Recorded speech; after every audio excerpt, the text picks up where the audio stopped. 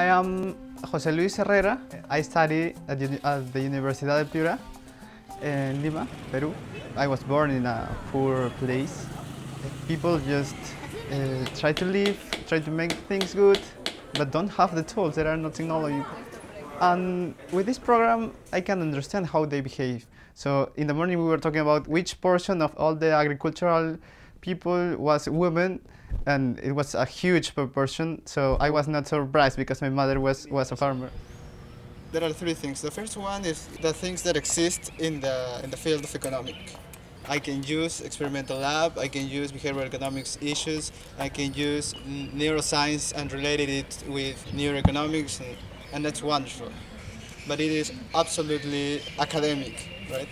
Uh, the second one is yeah, I have been knowing people sharing moments, sharing uh, dinner, lunch. These kind of situations are, wonderful. So in that sense, I think yes, I am growing, knowing another kind of people. Yeah, and the third one is something with my own.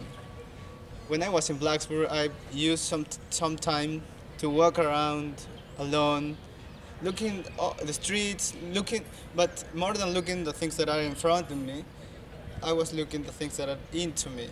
And probably this is the, the things more important that I am beginning to learn about the things that I that I that I think. All the things that I am hearing, that I am seeing, that I am understanding, well, I can catch it and transform into part into a part of me. Well, it's, it's having a great time. Professor Marcos is a great person. I have learned so much of, the, of him. I have more confidence just right now. Yes.